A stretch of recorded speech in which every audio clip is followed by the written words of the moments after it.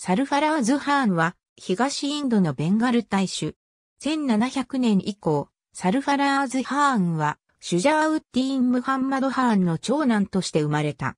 1720年から1726年にかけて、サルファラーズ・ハーンはベンガルのディーワーンであった。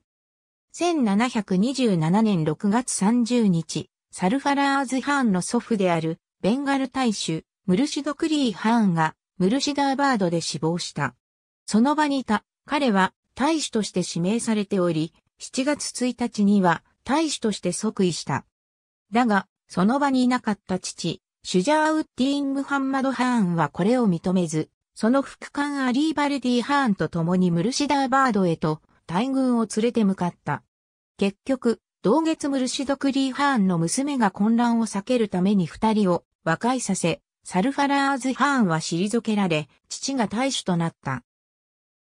とはいえ、彼はサラファラーズ・ハーンを自身の後継者としていたことから、その後の不死関係は悪くはなかったようである。12年後、1739年8月26日に、父、シュジャーウッディーン・ムハンマド・ハーンは死亡した。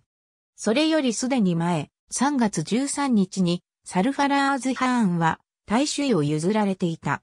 だが、サルファラーズ・ハーンが待ち望んだその地位は、父の時代に力をつけた強力な部下である副官、アリー・バルディ・ハーンに狙われていた。